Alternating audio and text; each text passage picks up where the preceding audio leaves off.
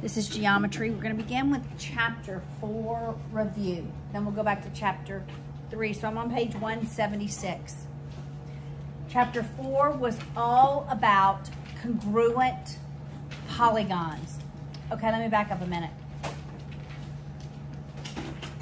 The test is about the same length as your first test, okay? Nobody struggled with timing, so it's gonna, it's gonna feel the same. There will be two proofs on the test. There actually are. Um, there will be some matching. There will be a couple of true false, and the rest will be problems. You have to know all the formulas that we've learned. All right? So I'm on page 176.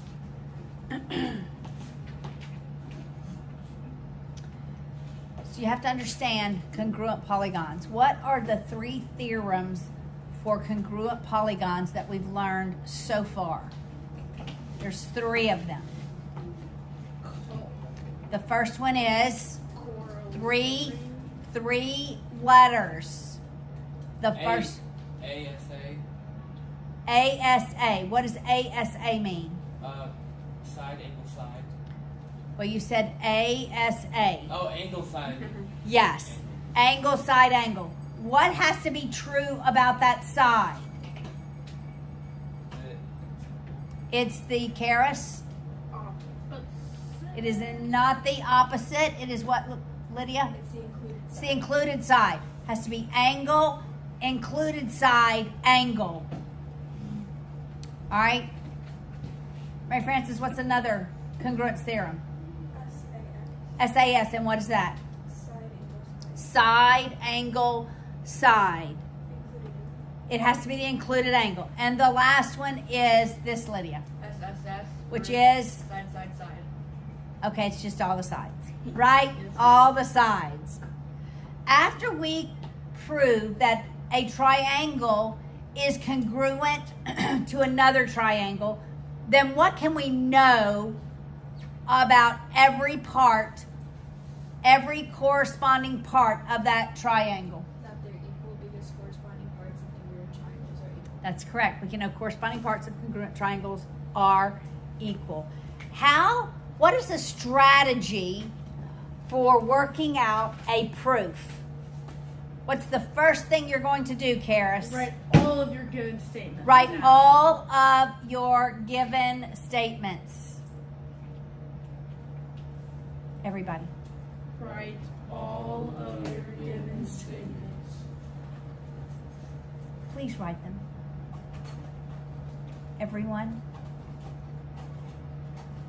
And then what do I ask myself? What questions do I ask myself?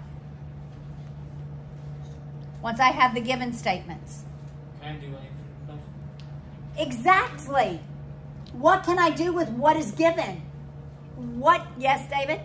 You said last class sometimes in the givens there's something that like both of them can imply. You can know from the givens. There is something you can know from the givens. For example, what? Somebody, give me an example. Um, Give me a given and then give me what you can know. David. Say that if one two angles on a line are supplementary, then even though that's given, you can know that they're both equal to 180. The sum of them, that's right. If it is given that angles are supplementary, then you can know that the sum of those two angles is 180 degrees. Yes. If you say like, um, like line A bisects line like CB, Right. then that means, um, it's The two parts. the two parts are equally cut in half. That's correct.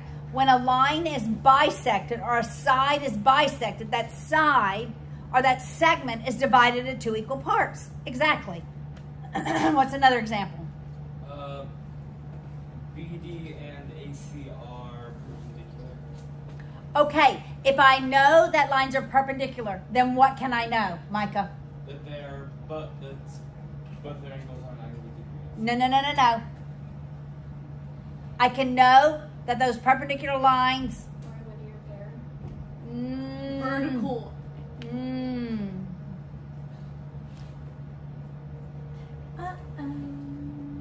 What do perpendicular lines form? Right. Four. Four right angles. I can know that all the angles are right angles. Once I know that they're right angles, can I say that there are two equal angles? Why? Because All right, say it. All right angles are equal. I never have to go to 90 degrees. If I tell you an angle is a right is 90 degrees, then what can you know about it? It's a right angle. That's right. What else? Example. Can you think of?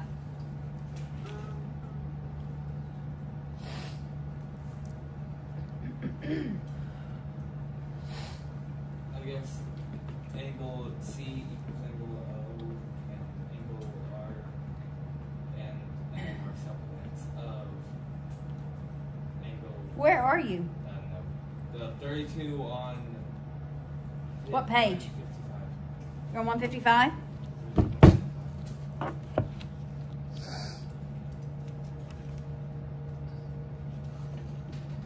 Oh, okay. You can know the givens, right?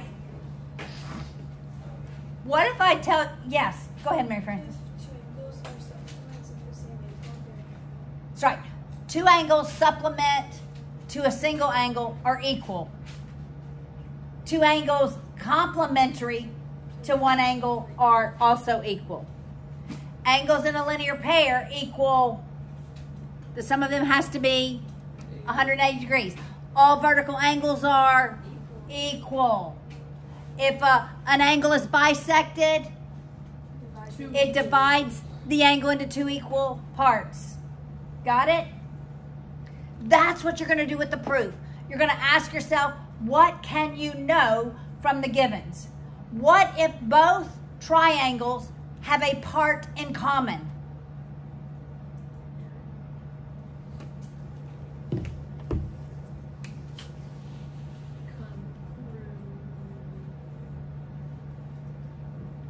Like AB. What am I going to say? They're AB equals AB. AB equals AB. Why? reflexive. reflexive, right?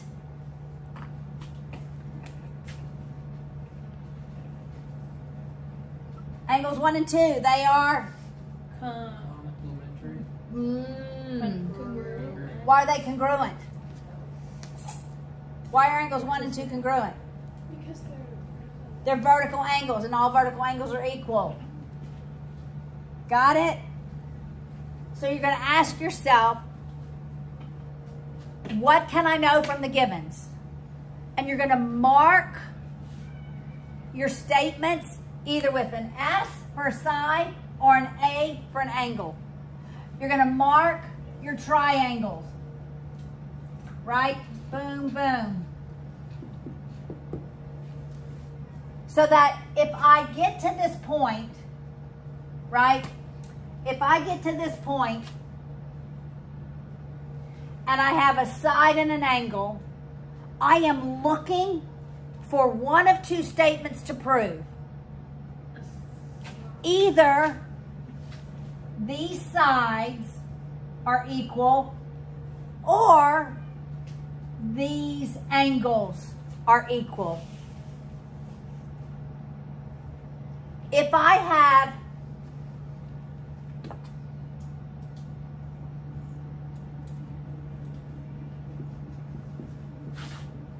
two sides, let me just mark them A, B, C, D, E, F. What do I need to prove that these are congruent? There's two options, Angle A right? Angle A equals angle D or, Uh, CB right, CB equals FE. Got it? I either want to go side angle side or I want to go side side side. So pay attention as you're walking through the proof. You only have three options. It's either side angle side. So if you get a side and an angle, you're looking for a side or you're looking for the angle, right? Watch and see what you need to prove. Ask yourself, what do I need to prove? And then look at your statements and say, Is there anything given that I can use to prove that? Angle, side, angle, or side, side, side. Those are your three options on the test. That's it. So as you walk through your proof, you're labeling your statements and you're labeling your images because there will always be an image. And then you can know what do I need? Do I need another side? Do I need another angle? All right, so think logically as you work the proofs. We're going to work some um, today, maybe. All right? You, you have to know the distance formula. What do we use the distance formula for? To find the distance between points. Okay, and sometimes it's called not distance, but. Length. Yes, it's called the length, right? The distance is sometimes called the length. You have to know that formula, all right? You have to know the names of the triangles. Triangles are named either by their sides or by their angles. By their sides, what are their names? A, or S, A. No, the name of a triangle based on their sides. Equilateral. Equilateral, I saw some. isosceles, scalene. By their angles, what are they called? Equiangular. Equiangular. I. What'd you say? Right angle? I. Okay, it can be right triangle, Yeah. Obtuse. obtuse, Or acute. or acute. Yes. All right, you have to know that.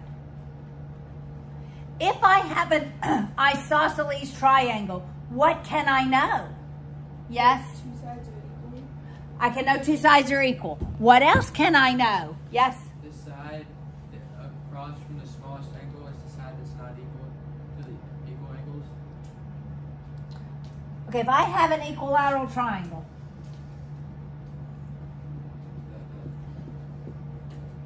I can know those two sides are equal. But wait. Michael, what else can I know? Beckett, actually, I haven't called on you. Beckett, what else can I know? Those two lines I can know AC equals AB, but there's something else I can know, Beckett.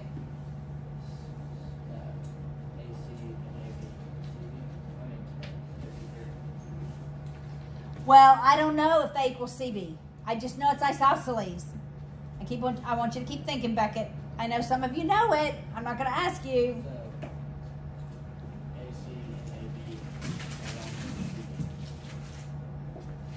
Are longer than CB? I don't know that. I don't know how they're linked, but there is something else that I can know.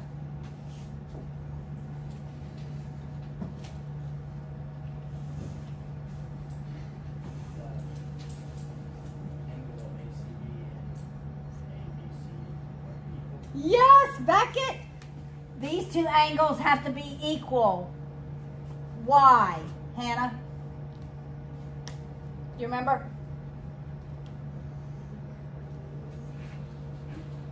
Corresponding parts of When do we use corresponding parts of congruent triangles? Only after one triangle congruent to another. The next statement, we're to have corresponding parts. It's because when two sides of a triangle are equal, the angles opposite them are also equal. What if I know I have two equal angles? Then I know.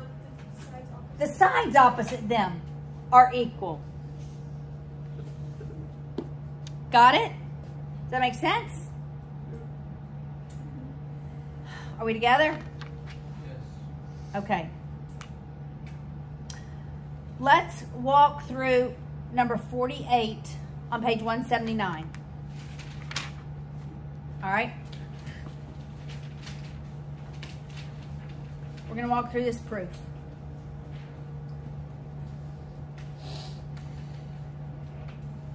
This is in your homework. So we're going to give this the reasons why. All right? Page? Page 179, number 48. It's the pool proof. I'll read it. In the figure below, a pool player wants to hit a ball at A so that it banks off the cushion at B and hits the ball at C. Point D is an imaginary point outside the table at which the player aims. So we're going to give the reasons, all right? Here's given ABD. Here's also given DE equals EC and DC is perpendicular to L. All right, so number one, Hannah, why can I say ABD? Given, that is correct. It is given. All right, Mary Frances. Why can I say AB plus BD equals AD?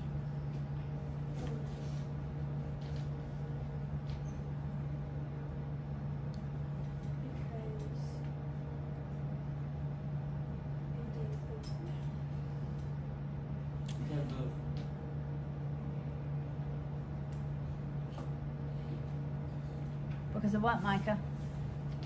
ABD. Because of B between Mm.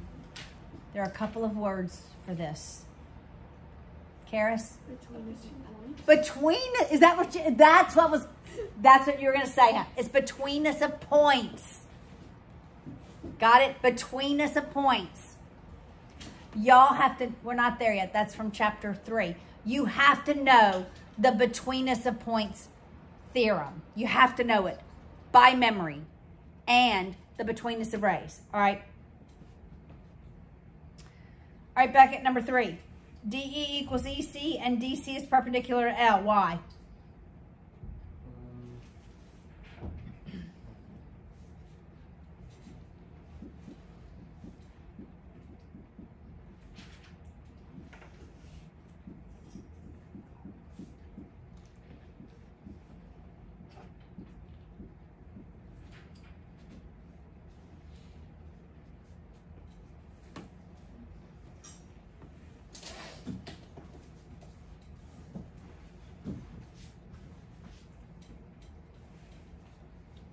Um, Micah, can you help him?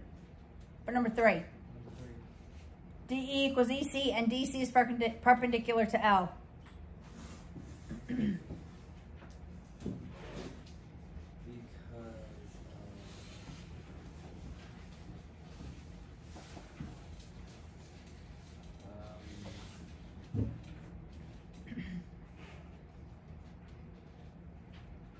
I don't know. Why? We'll go to Hannah. It's given. You know, oh, it is. Don't miss those given statements. Ladies and gentlemen, please do not miss the given statements. All right, David, why can I say number four? Angles one and angle two are right angles. What? question about that. Yes, So, are there going to be proofs in which you have to write out all of all them? of them. Or are there, and are there going to be things in which you have to write the reasons given? Maybe both. Angle, Maybe I give you nothing, and maybe I give you something. angle one and two are right angles because in the given it tells us that uh, L wait yeah L bisects DC It does say L bisects DC. it, Wait, wait, wait, wait, wait. Does it say L bisects DC? It's parallel or no it's perpendicular. It says L is perpendicular to DC. Does bisecting mean we have right angles? pretty much if L goes through the center of DC and goes to B, then it bisects a 100 degree angle. Okay, if I go through the center point of something, does that mean that we have right angles? If you No. go, Let's say that's the center.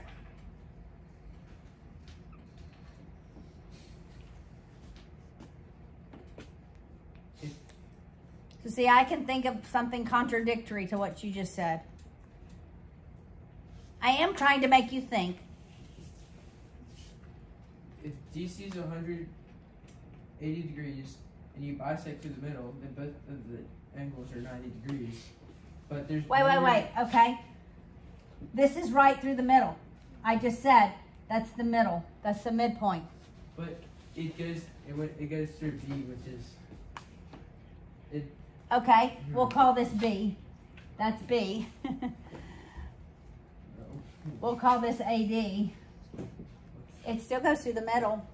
But it, it starts at the okay. If you draw the triangle, and you have B at the top point, it goes straight through to L. It has. Well, this is going straight through. vertically, vertically. That is a straight line. Oh, perpendicular. Um. Okay, Okay, it's it has to go through vertically at the midpoint. Is okay. is- So I could have a vertical line. That's pretty vertical. Okay. What if this line, that's the midpoint. So that's B, and that's A, D. Did I just visually form? is is AD supposed to be Right angles. Well, number four says angles one and two are right angles. And they are because a 180 degree angle, which is DC, is bisected. So when I bisect a 180 degree angle, we have right angles. Okay. Bisect isn't just Did we say the angle was bisected anywhere? DC. L is, par, is perpendicular to DC. Is that the same thing as bisecting? Is perpendicular the same thing as bisecting? No. It is not. Perpendicular is not the same as bisecting. What is what is bisecting? Yes. When it, you go straight through the middle of an angle or. A, No, no, no. Okay. Like from the. Yeah, yeah, yeah. yeah. Straight through. If you cut it into two equal parts. Right. That's bisecting. Yes. We, th- there, there's nowhere given that these any angles have been bisected. So you cannot use bisected. Does everybody understand that? Yes. Because you're going to try to use things and not, and I'm going to be like, "Mm, that's not there anywhere. Bisecting is not given anywhere.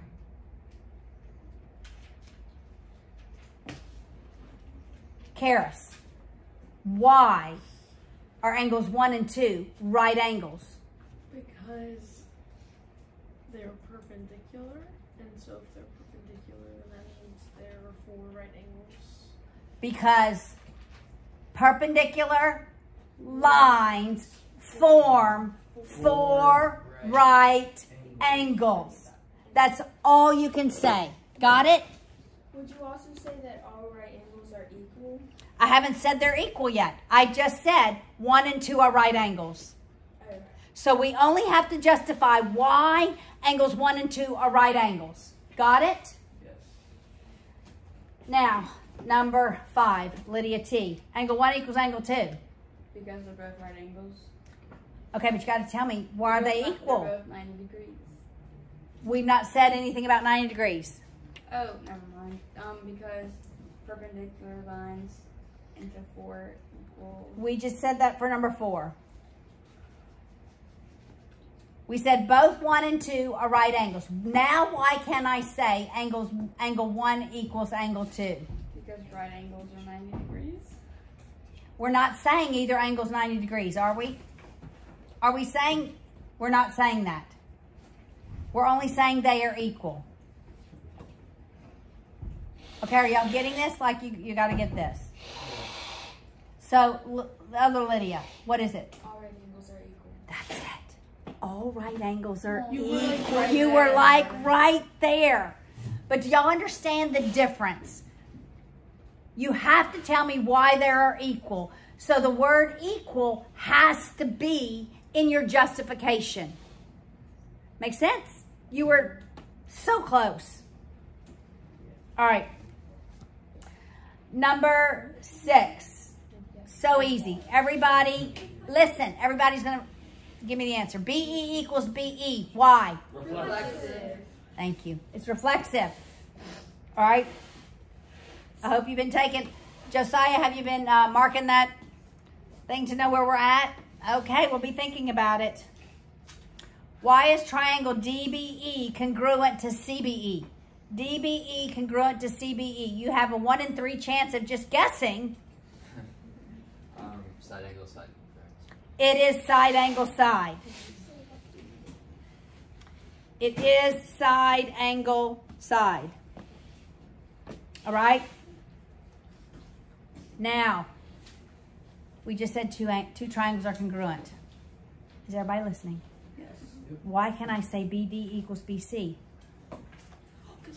Please, everybody recite it. Corresponding parts of congruent triangles are equal. I am so proud of you. That is correct. I'm not going to say that for the next one. Okay, but I am always going to say that for the statement below those two, the congruence. Okay, now, now, everybody. Lily, you give me this one. Number nine. Why can I say AB plus BC equals AD? It's substitution. They take the equation in number two, and instead of BD in number eight, they put in BC in number nine. Got it? They take eight and substitute it into number two to get number nine. Got it? Yes. Thank you. All right.